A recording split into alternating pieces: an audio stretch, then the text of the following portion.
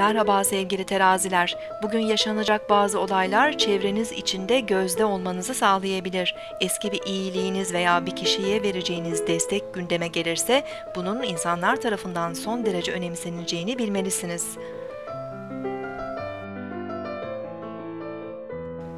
Bugün 21 Ağustos 2014 Perşembe, Jüpiter günündeyiz. Yengeç burcunda ilerleyen ay duygusal güvenliğimiz, ailemiz, yuvamız, vatanımızla ilgili kavramları öne çıkarabilir. Sabah saatlerinde ay Plüton karşıt açısı duygusal beklentilerimizi arttırırken daha hırslı ve tutkulu davranmamız mümkün. Ay Başak burcundaki Merkürle olumlu açı yapacağı için duygularımızı ve düşüncelerimizi kolay ifade edebilir, çevremizden destek bulabiliriz. Geçmiş deneyimlerimiz ve hatıralarımız davranışlarımızı etkileyebilir. Merkür-Plüton üçgen açısı güçlü fikirler üretebileceğimizi ve zihinsel dönüşümler yapabileceğimizi işaret ediyor. Detaylar gözümüzden kaçmayacağı gibi konuşmalarımız çok etkileyici ve ikna edici olabilir.